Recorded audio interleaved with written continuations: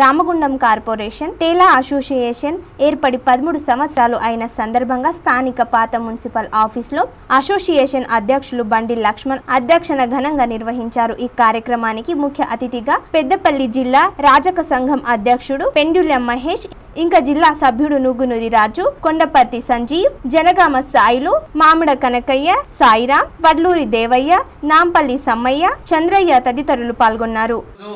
Ramagundam corporation టేలా association ఏర్పడి పదమూడు సంవత్సరాలు అయిన సందర్భంగా టే- పదమూడవ వార్షికోత్సవ సందర్భంగా ఈరోజు పెద్ద ఎత్తున టేలా అసోసియేషన్ అధ్యక్షులు బండి లక్ష్మణ్ గారు ప్రధాన కార్యదర్శి కనకయ్య గారి ఆధ్వర్యంలో పాత మున్సిపల్ ఆఫీస్ కేంద్రంలో సంబరాలు జరుపుకోవడం జరిగింది. ఇవాళ మేడేను పురస్కరించుకొని ఏదైతే ఇరవై నాలుగు గంటల్లో పద్దెనిమిది గంటలు పనిచేయించినటువంటి కార్మికులు యాజమాన్యాలకు వ్యతిరేకంగా పోరాడి ఎనిమిది గంటల సమయాన్ని ఏ రకంగా అయితే సాధించుకున్నారో దాన్ని స్ఫూర్తిగా తీసుకొని వాళ్ళ మేడే రోజు మేము పిలుపునిస్తా ఉన్నాం. రజకులను కూడా కార్మికులుగా గుర్తించాలి.